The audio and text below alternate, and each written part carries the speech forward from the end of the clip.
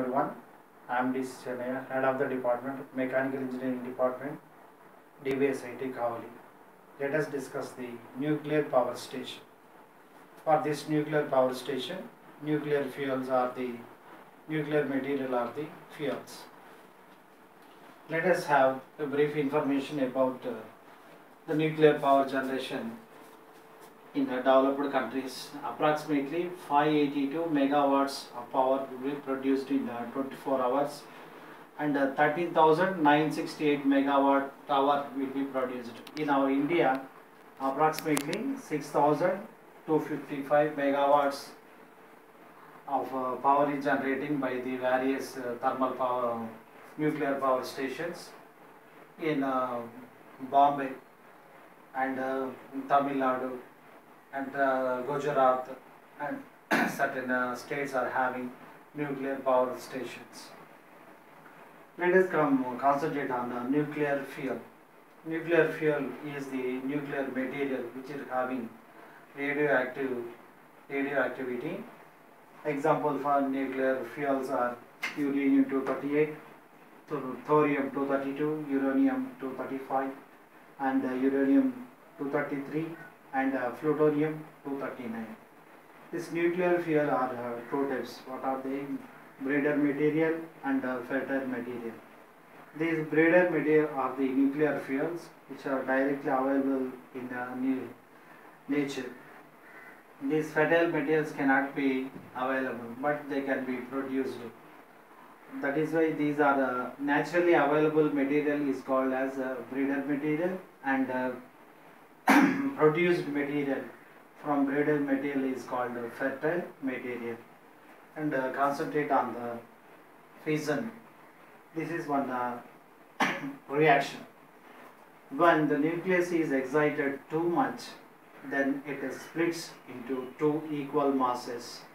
This reaction is suited to only heavy nucleus such as uranium 238, uranium 235, uranium 233 and plutonium 239 and thorium 232. Such a fast transformation or chemical reaction is called as a fission or nuclear fission. Let us see the nuclear fission process. There is one uh, element, radioactive material, uranium 235 and this is excited with a very fast uh, neutron. It strikes this material and it splits into two equal masses, fission fragment and uh, prompt gamma rays and uh, fragment neutrons and fission fragment and prompt neutron. This uh, splitting of this uranium 235 into two parts is continuously goes on until it uh, completely disintegrated. The name itself it is indicating the meaning of this term indirectly. It is a process in which the number of neutrons keeps on multiplying rapidly during fission till whole of the fissionable material is disintegrated. Once uh, see this figure, we can understand the meaning of this uh, definition. So first that uh, fissionable material is uh, by the neutron with high velocity. As the high velocity neutron strikes the element, it splits into two equal masses and uh, disintegration of that uh, material is goes on increasing till complete ending of this uh, reaction. If you see the next figure, we can uh, understand the rapidness or fast of uh, nuclear fission or chain reaction. Time is plotted on uh, x-axis and uh, on y-axis the number of atoms split is represented on the y-axis. Main components of nuclear power plants, the basic cycle for nuclear power plant is Rankine cycle, similar to the thermal power plant. In thermal power plant, we will use the coal to generate the heat. From that heat we will uh, generate the steam. Here we will use the nuclear fuels to generate the heat. That is only the difference. There are uh, three different cycles for this nuclear power plant. Direct cycle, indirect cycle, indirect cycle with the intermediate loop. Now concentrate on the direct cycle. Why we are calling it as let us concentrate on a direct cycle. Why we are calling it as a direct cycle? The working fluid which is circulating through the turbine, condenser and feed pump is also entering the nuclear reactor directly. That is why this cycle is calling as a direct cycle. The working fluid that is the water, feed water pumped by the feed pump and enters the nuclear reactor. There, this water absorbs the heat and uh, a formation of steam takes place. This formed steam with high energy enters the turbine and uh, produces the uh, work as it is expanding over the turbine blades. And uh, low pressure, low temperature steam enters the condenser and uh, where it rejects to the rejects the latent heat of condensation to the circulating cooling water then uh, steam gets condensed into the liquid which is also called as condensate. It enters the feed pump and uh, feed pump pumps the water into the reactor. That uh, in that way cycle rotates. Indirect cycle. Why we are calling it as indirect cycle?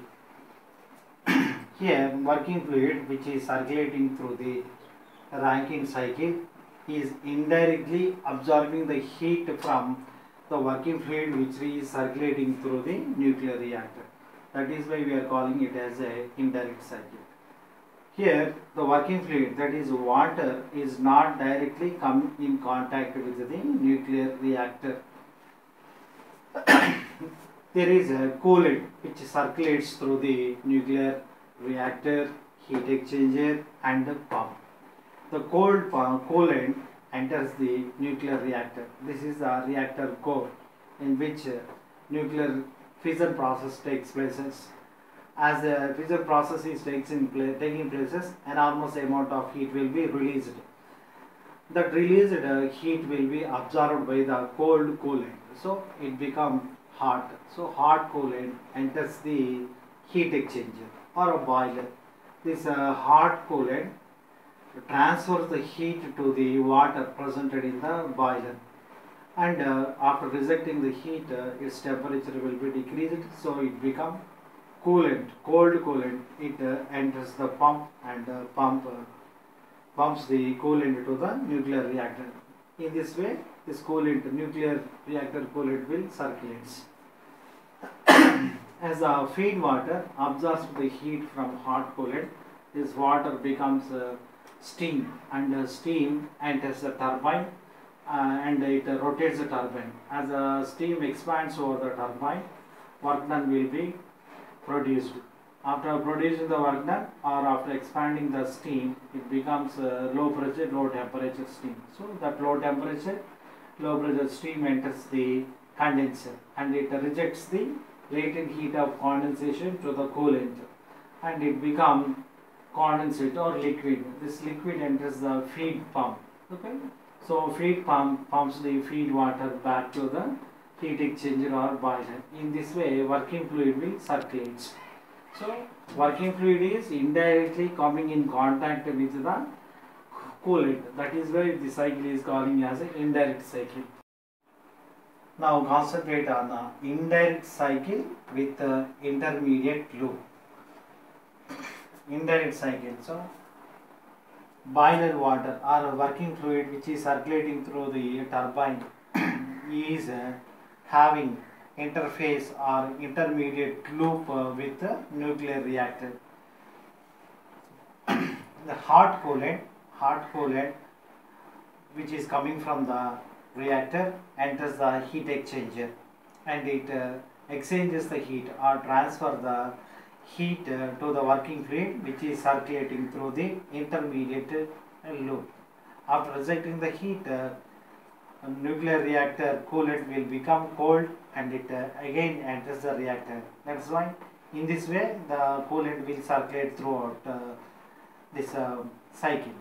And next, uh, in intermediate loop, after absorbing the heat from hot coolant, it uh, enters the heat exchanger where it uh, transfers the heat to the feed water which is coming from the feed pump. After rejecting the heat, uh, this intermediate loop uh, working fluid again enters the heat exchanger as shown in figure. So after absorbing the heat uh, from the intermediate loop working fluid, the feed water becomes steam and the steam enters the turbine and the turbine have the blades. So as the steam is expanding over the turbine blades, work will be produced. So uh, steam temperature and uh, pressure will be decreased. So that uh, low pressure, low temperature steam enters the condenser and the steam rejects the latent heat of condensation to the cooling water. So steam turned to the condensate. Condensate is nothing but uh, water or liquid. This liquid again pumped back to the heat exchanger or boiler. In this way, produced heat in the nuclear reactor will be transferred to the water and becomes a steam and the production of the power mechanical power and electrical power as well as takes places.